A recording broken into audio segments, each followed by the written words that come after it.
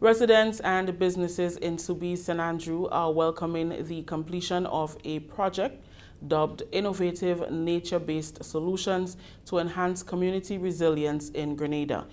The project, supported by the Caribbean Biodiversity Fund and WINDREF, addressed shoreline and coastal erosion, which resulted due to the impact of climate change. Trevor Noel, Deputy Director of WINDREF, explained that the project was done in two phases, the restoration of the reef and the stabilization of the shoreline. More than 1,000 square meters of land was reclaimed. This grant, entitled Innovative Nature-Based Solutions, to enhance community resilience in Grenada, or ING, had a duration of 30 months. And I'm happy to say it led to a reclamation of 1,000 square meters of land through the innovation of the engineers, contractors, and our own Soubise community members. The series of targeted interventions address these issues through a two-pronged approach. Firstly, the restoration of the fringing reef, and secondly, stabilization of the natural shoreline.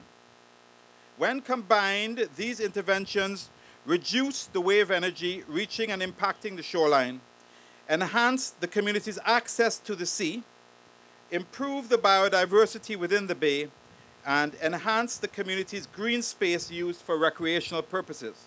Perron Johnson, Permanent Secretary in the Ministry of Climate Resilience, the Environment and Renewable Energy, said the project is in keeping with government's commitment to support build resilience and sustainability throughout Grenada. This therefore marks a significant milestone in the collective journey towards building resilience and sustainability in our beloved nation. Throughout the project, we have embarked on a remarkable journey of discovery, innovation, and collaboration. We have witnessed the transformative power of nature-based solution in enhancing community resilience, protecting the environment, and most importantly, protecting livelihoods. Throughout the visionary um, intervention of WINDREF under this innovative nature-based solution enhancement community project, as indicated by Dr. Noel, we saw the reclamation of 1,000 square feet square meters, square meters of precious land. This reclamation not only fortifies homes and critical infrastructure, but it also serves as a hallmark against the ravages of storms, surges, and other natural disasters.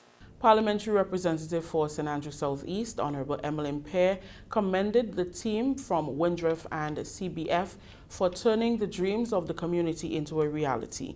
She celebrates the preservation of livelihood and community togetherness in Soubise. So today we celebrate its tangible impacts.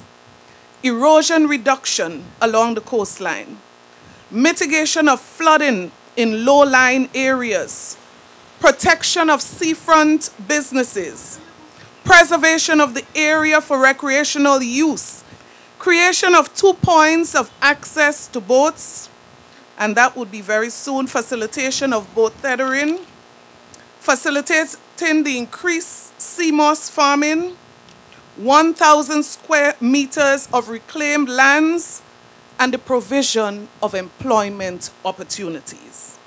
Over $1 million was contributed by the Caribbean Biodiversity Fund toward the project, according to Pettifer Lewis, representative of the Biodiversity Fund.